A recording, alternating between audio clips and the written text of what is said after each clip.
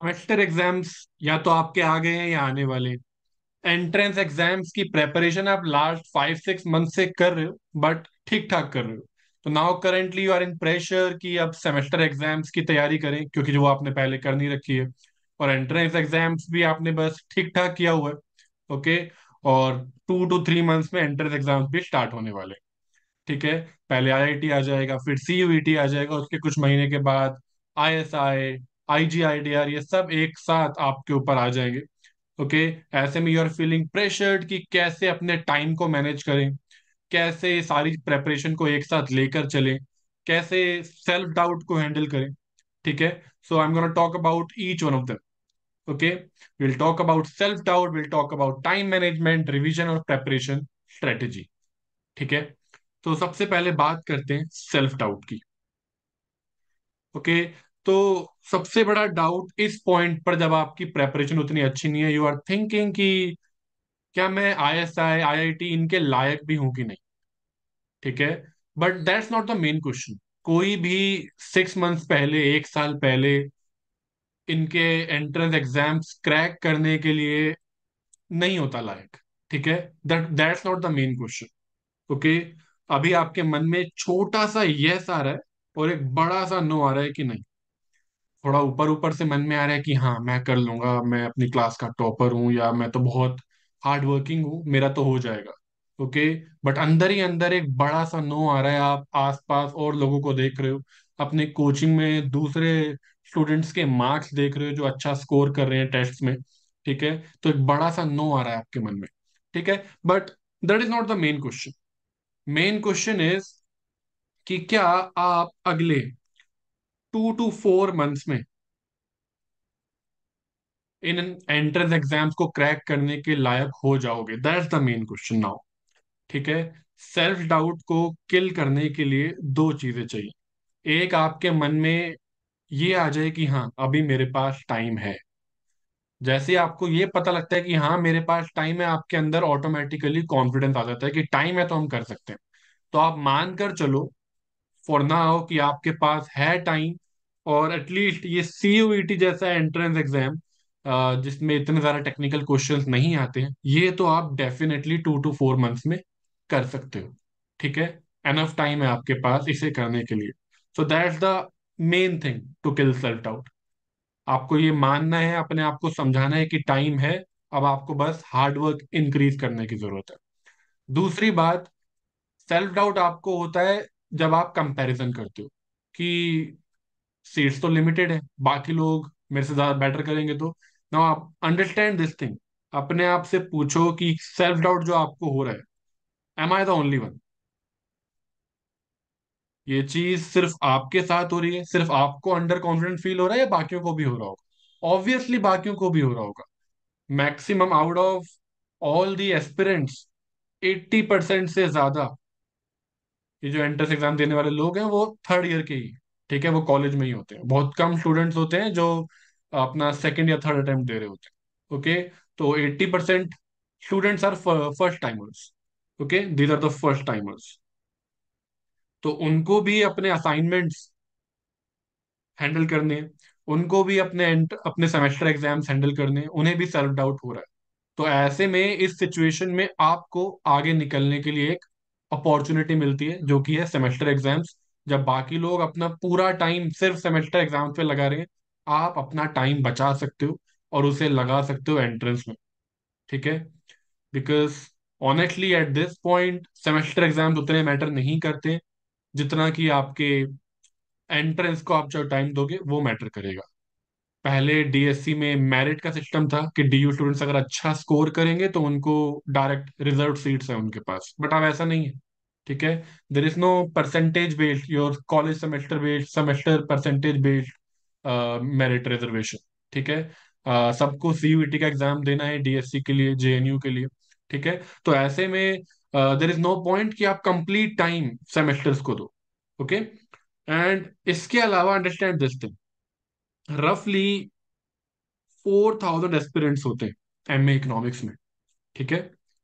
लगभग four thousand aspirants हैं in total okay DSC में there are around two fifty seats ठीक है? रफ एस्टिमेट है not the exact thing around two fifty seats IGIDR में around fifty seats ISI में around twenty twenty five seats okay Madras school of economics में it is a expensive place but अच्छी जगह है from placement point of view two hundred के around यहाँ पर seats है।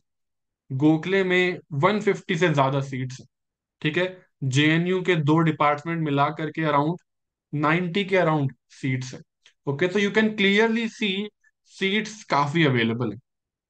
अगर आप आईआईएफटी को भी अच्छा समझते हो तो वहाँ पर भी नाइन्टी के अराउंड सीट्स हैं ओके नाइन्टी प्लस ही होंगी, दो कैंपस को मिला करके। ठीक है? तो ऐसे में सीट्स काफ़ी हैं, ठीक है? अगर आप सिर्फ़ टॉप इंस्टीट्यूट्स को देखो यहाँ पर 250 सीट्स 50 सीट्स आईजीआईडीआर में 300 तो यही हो गई आईएसआई में 20 मानकर चलते हैं, ठीक है? 320 जेएनयू में 90 410 तो यहीं पर हो गई है। ये these are the four main institutes 400 से ज़्यादा सीट्स ऑलरेडी अवेलेबल है ओके सिर्फ़ मेन इंस्टीट्यूट्स की आप बात करो तो वहीं पर टेन परसेंट से ज़्यादा एस्पिरेंट्स का एडमिशन हो जाएगा। ओके तो अंडरस्टैंड दिस थिंग कंपटीशन इतना ज़्यादा यहाँ पर नहीं होता है। All you need to do is कि बाकियों से थोड़ा सा बेटर करना। ठीक है? अगर अगर भैया आप समझ रहे हो कि आपका स्कोर सेवेंटी परसेंट के आस, आसपास आएगा एंट्रेंस एग्ज़ाम्स में, थोड़ा सा बेटर करोगे। खुद को सेवेंटी से सेवेंटी फाइव तक ले जाओगे। आप इसी पाँच परसेंट के बीच में बहुत सारे स्टूडेंट्स को के आगे निकल जाओगे।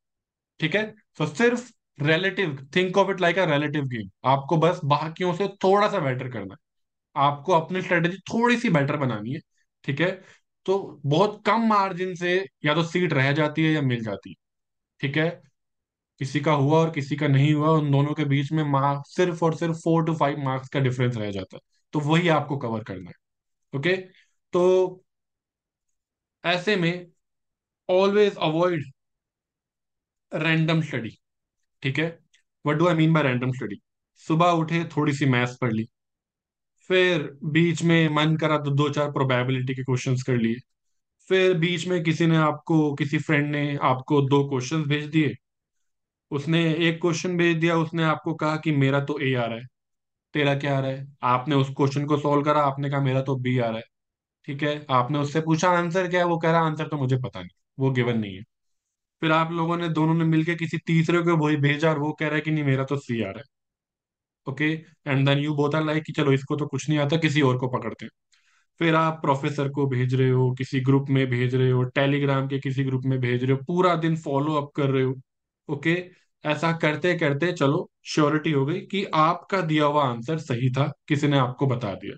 लेकिन इस पूरे प्रोसेस में लेट से आपके लग गए फोर टू सिक्स आवर्स आप सुबह से लेके शाम तक रैंडमली कर रहे हो, इस क्वेश्चन का, इस क्वेश्चन का फॉलो अप ले रहे हो ओके तो this is the worst thing that you are doing आप अपना टोटली टाइम वेस्ट कर रहे हो। किसी से रैंडम क्वेश्चन लेना जिसके आपके पास आंसर की नहीं है एटलीस्ट एक ढंग की ऑफिशियल आंसर की नहीं है, उस क्वेश्चन के साथ डील करना यूजलेस है। मत, नहीं करना चाहिए, ये आपका टाइम वेस्ट करता है, ठीक है?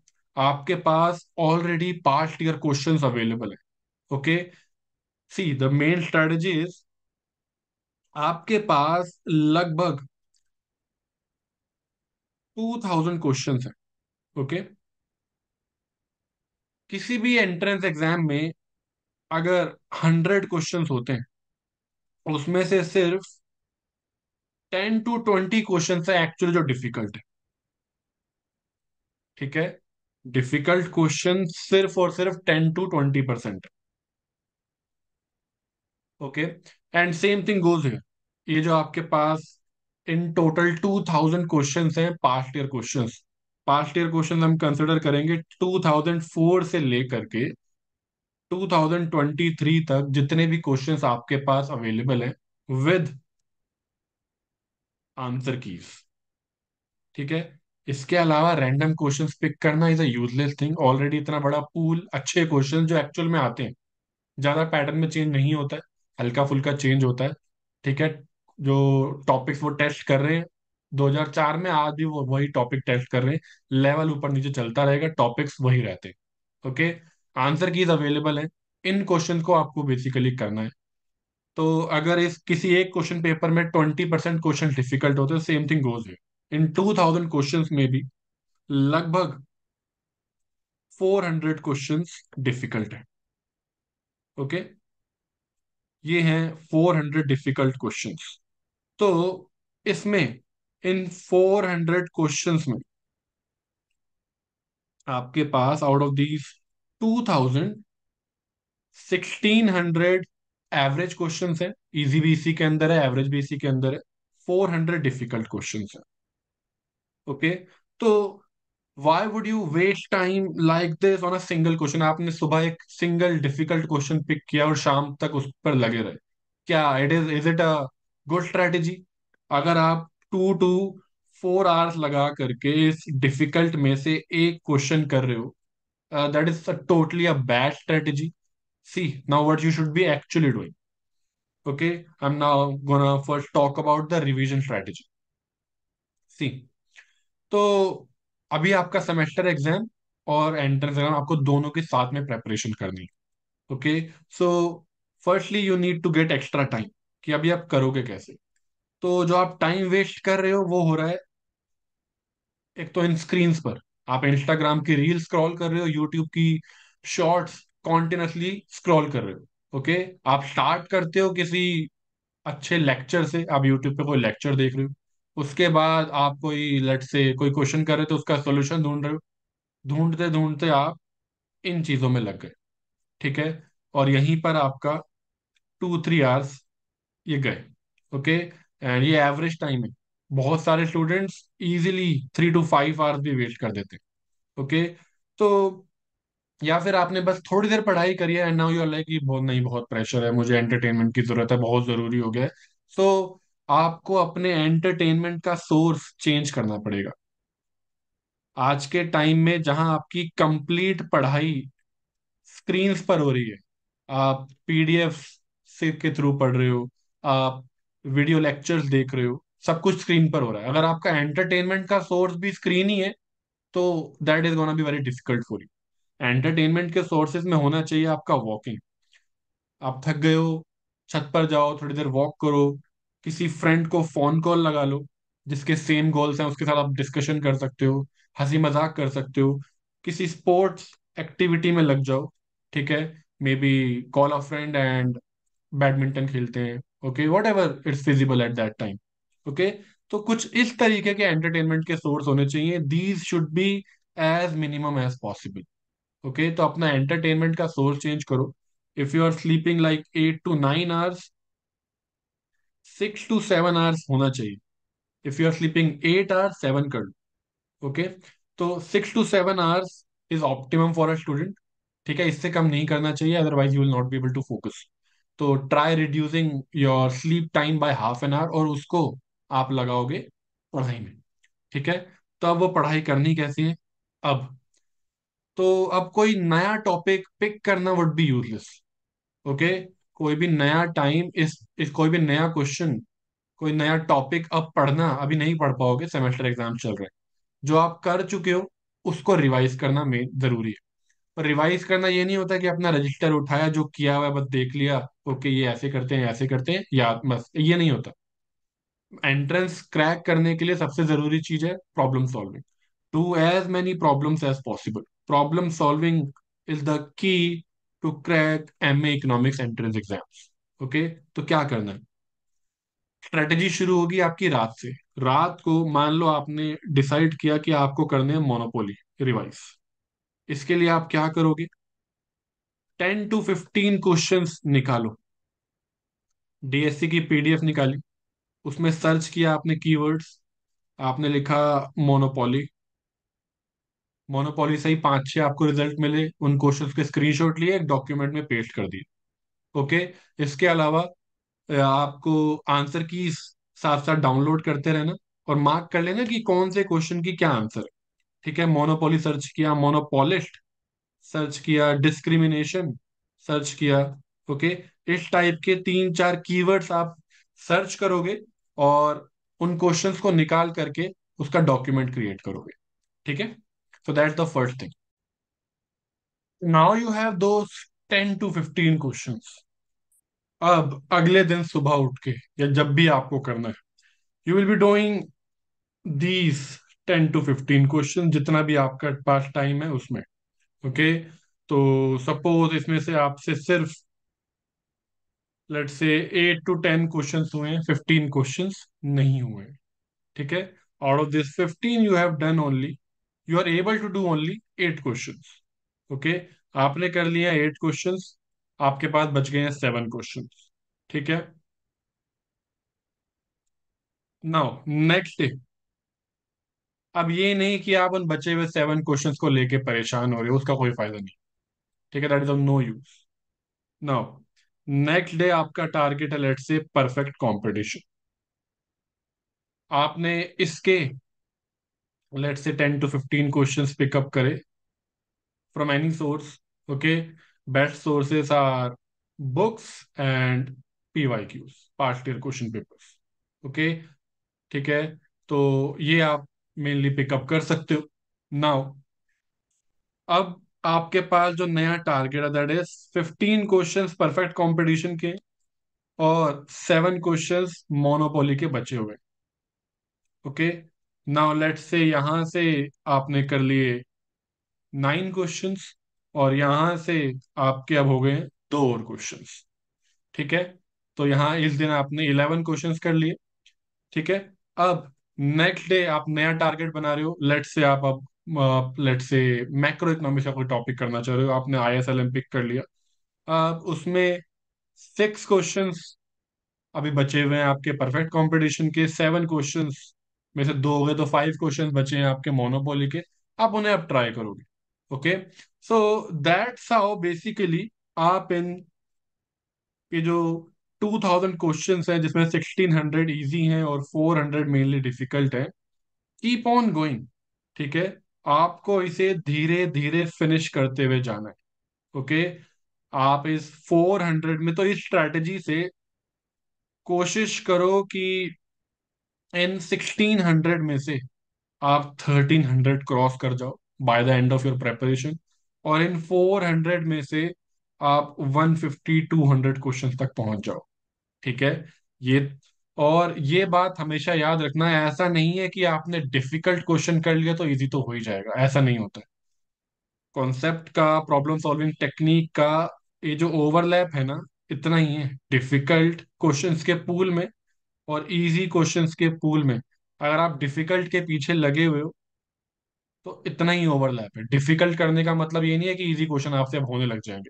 दोनों की अपनी अलग स्ट्रेटेजी है, अपना तरीका है, अपने कॉन्सेप्ट हैं ओके तो सिर्फ़ डिफ़िकल्ट क्वेश्चन के पीछे लगने से अपना टाइम वेस्ट नहीं करना है, ठीक है? दोनों ज़रूरी हैं और इवन इजी क्वेश्चन ज़्यादा ज़रूरी है, क्योंकि eighty percent question average question ही ओके तो अब अगर आपको कोई रोज अपना डाउट कोई भेज रहा है। डजेंट मीन कि आप सुबह से लेके शाम तक दूसरों के डाउट सॉल्व कर रहे हो। डोंट डू दैट हेल्प करना अच्छी बात है but don't overdo that okay ना ये आपके लिए अच्छा है, ना उसके लिए अच्छा है। वो सारे क्वेश्चंस आपसे करवा रहा है तो उसका तो वैसे भी एंट्रेंस नहीं होने वाला है। ठीक है? अगर वो हर चीज़ के लिए सिर्फ़ आप पर डिपेंड हो चुका है तो उसका तो वैसे भी नहीं होने वाला है। और आप अपनी प्रेपरेशन गलत कर रहे हो। ठीक है? क्योंकि आप जितना कर सकते थे। आप सुबह से लेके शाम तक दूसरों के four to six questions doubt solve कर रहे हो, बिना आंसर की वाले क्वेश्चंस पे टाइम वेस्ट कर रहे हो ओके उसी फोर टू सिक्स आवर्स में जो आप उसके पाँच छह क्वेश्चंस कर रहे हो, इतने में आप easily twenty to twenty five easy questions कर सकते थे। और हुए आपके सिर्फ़ five to six difficult question okay तो ये बहुत ही गलत स्ट्रेटेजी है आपके लिए, ठीक है? You should have a time कि लेट से आप एक दिन में सिर्फ़ टू आवर्स स्पेंड करोगे दूसरों के डाउट्स या दूसरों की चीज़ें देखने में। ओके मे बी आप एक टाइम सेटअप करोगे कि six to eight P M आप दूसरों के डाउट्स देख लोगे, उसके अलावा आप पूरा फोकस अपने आप पे करोगे। So that's what you need to do okay and यहाँ पर जो सबसे मेन चीज़ आती है, वो है स्ट्रेटेजी ऑफ़ मूविंग ऑन आपने क्वेश्चंस करे फिफ्टीन क्वेश्चंस का टारगेट बनाया था फिफ्टीन क्वेश्चन का पूल है आपके पास, आप सिर्फ़ दस कर पाए हो, पाँच नहीं हो रहे अब आप उसके पीछे पागल नहीं होना है आपको। Strategy of moving on is the best strategy move on okay fifteen question हैं, दस कर लिए, पाँच बज गए, नो प्रॉब्लम अगले दिन फिर से टेन टू फिफ्टीन क्वेश्चन का पूल बनाया। इसे उसमें इंक्लूड रखा हुआ है। यहाँ पर दस ग्यारह हो गए, चार नहीं हुए कैरी फॉरवर्ड करते जाओ। ओके टारगेट इज़ उस टू थाउज़ेंड क्वेश्चन में धीरे धीरे धीरे धीरे आगे बढ़ना है। उन फोर हंड्रेड क्वेश्चन को के पीछे नहीं पड़े रहना। ठीक है? ये फोर हंड्रेड क्वेश्चंस आपको डेफिनेटली कभी ना कभी ऑटोमेटिकली मिल जाएँगे। कैसे? क्योंकि इनके बारे में तो सब बात कर रहे हैं। यूट्यूब पर वीडियो वीडियो इन्हीं क्वेश्चंस के ऊपर है। व्हाट्सएप ग्रुप पर टेलीग्राम ग्रुप पर डिस्कशन इन्हीं के ऊपर है। आप सिंपली अपने सिक्सटीन हंड्रेड क्वेश्चन पूरे करते चले जाओ। थोड़े थोड़े इन फोर हंड्रेड क्वेश्चन करते जाओ। अल्टीमेटली ये जो फोर हंड्रेड है, ये आपको यूट्यूब पर डिस्कशन ग्रुप पर अपने आप बाद में मिल जाएँगे। बाकी लोगों को लगा रहने दो इन फोर हंड्रेड पर। आप फोकस करो पहले सिक्सटीन हंड्रेड खत्म करने पर और धीरे धीरे डिफ़िकल्ट खत्म करने पर, क्योंकि पेपर में eighty percent question average question है। Okay I hope you got this